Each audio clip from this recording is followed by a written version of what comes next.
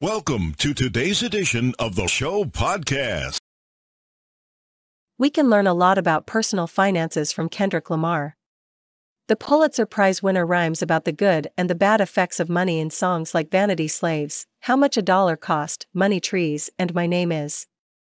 K. Dot, however, understands the power of a dollar and chooses to lead by example, developing sounder spending habits and building generational wealth.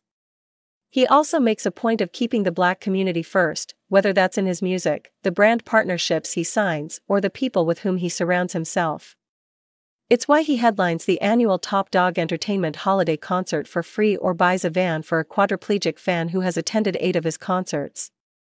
It's also why he's a beloved alumnus of Centennial High School, whose music program he helped revitalize and expand.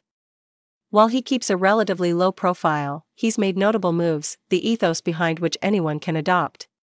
Here, in honor of Damn. S fourth birthday, are a few of them to jot in your own notepad.